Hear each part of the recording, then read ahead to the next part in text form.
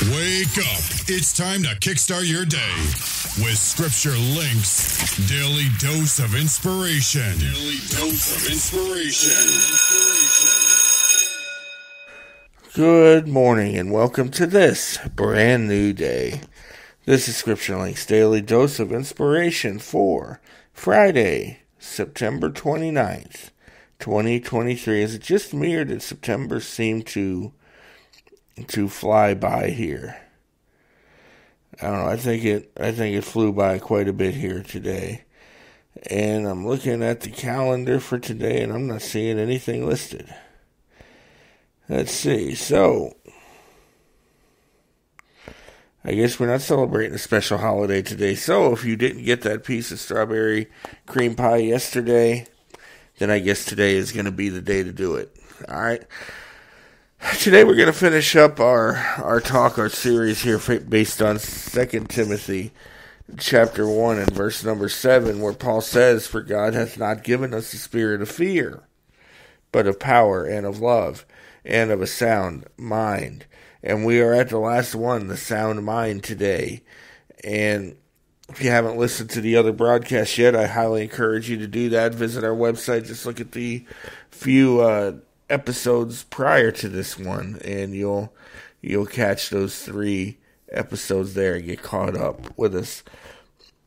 But today we're going to talk about a sound mind, and I think that that above all of these is probably the most important because if you don't have a sound mind, you can't love others the way you should be loving others, and you can't display the power of God because your mind is not set there. Your mind is not sound. Your mind is not stable. And it not having a sound mind is going to affect every part of our life. So having a sound mind is probably among one of the greater gifts that God gives us. And without a, a sound mind, or a sound mind knows to cast our cares upon Jesus. A sound mind understands that we can't do everything. And I know I'm one of these ones that try to do everything. And when I'm at work, I try to be the one that does everything. And, and in reality, I know that I can't.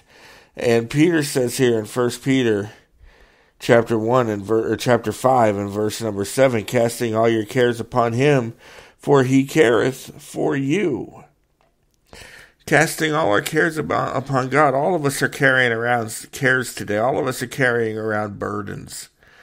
And if we don't be careful, those burdens are going to take over our thought pattern. It's going to take over our actions. It's going to take over every part of our life, and our stress level is going to go sky high.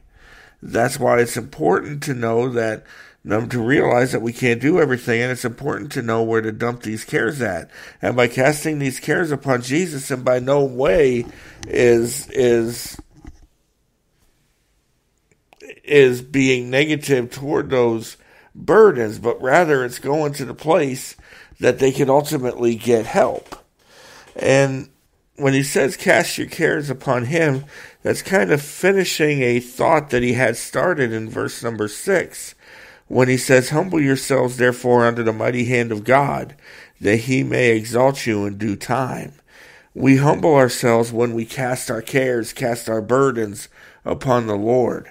So let me ask you this what are you carrying around today that is preventing you from having that sound mind that God wants to give us? A sound mind is also sober and alert.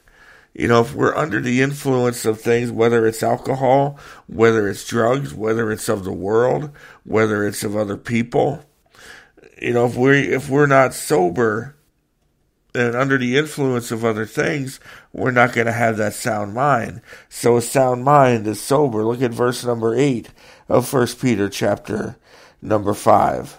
Verses 8 and 9. He says, "Be sober, be vigilant, because your adversary the devil, as a roaring lion walking walketh about seeking whom he may devour, whom resist steadfast in the faith, knowing that the same afflictions are accomplished in your brethren that are in the world. Excuse me. Peter is telling us here to make sure that we're sober and vigilant or sober and alert because the devil wants nothing more than to get in there and keep us from having that sound mind. He wants us to have our mind occupied. He wants us to have our mind drunk on the things of our burdens, on the things of our cares, of the things of this world, what's going on in the world.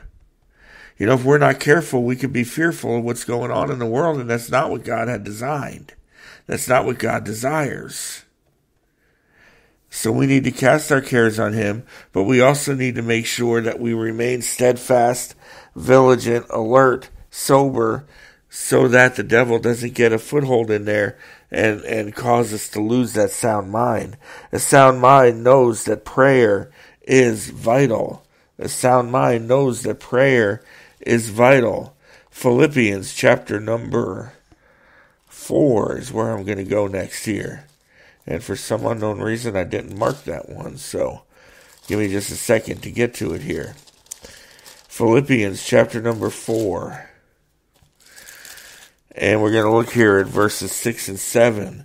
Paul says, Be careful for nothing, but in everything, by prayer and supplication, with thanksgiving, let your requests be made known unto God. And the peace of God, which passeth all understanding, shall keep your hearts and your minds through Christ Jesus. Be careful for nothing. He says, Be anxious for nothing, be careful for nothing. He says, but in everything by prayer and supplication. Everything. Be praying for your for your mind to not be a breeding ground for things that it shouldn't be.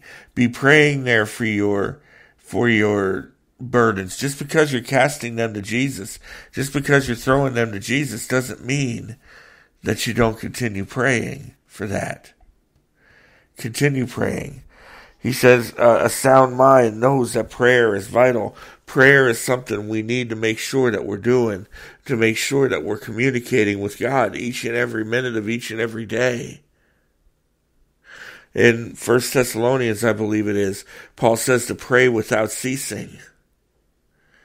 And for many of us, if we spend five minutes a day in prayer, we consider that pretty good. But a sound mind knows how prayer is vital, and a sound mind knows that we need to keep our focus on Jesus. If we're going to live the life that God wants us to live, then we need to keep focused on Jesus.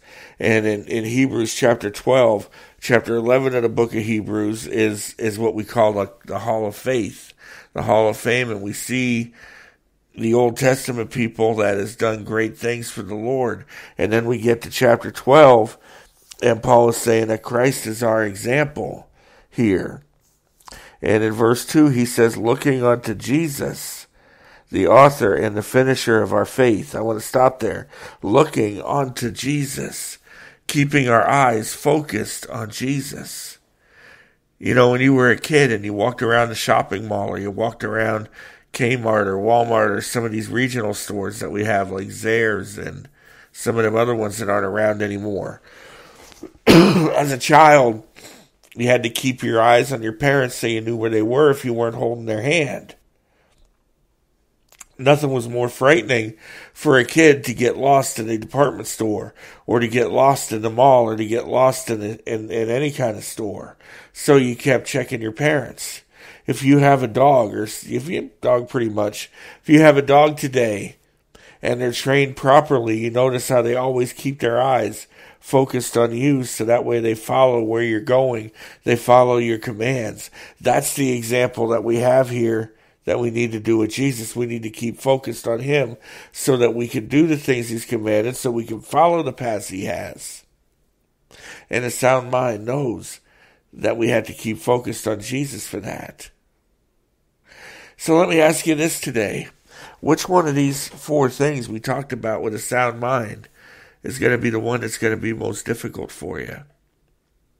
Friends, we need to make sure that we don't try to be Superman and do it all.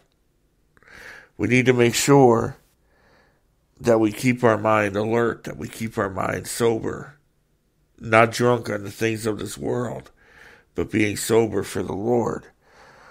we need to know that a sound mind knows that prayer is vital, and a sound mind keeps its focus on God.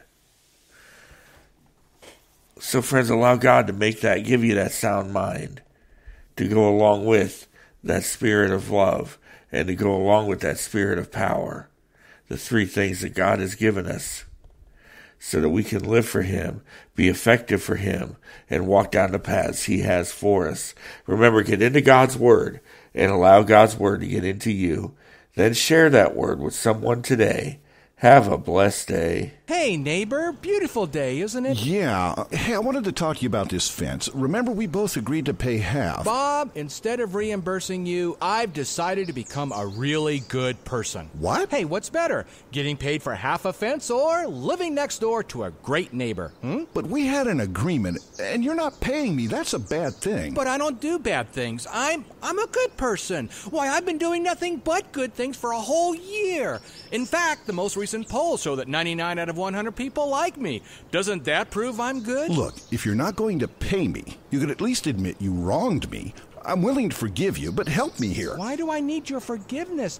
Everybody loves me. Well, 99 out of 100 anyway. The Bible declares that because we have sinned, we have wronged God, and any attempt at us being good is fruitless until we first ask God for his forgiveness. Have you asked? Another message from Lifeline Productions, located on the web at lifelinepro.com. Inc.com.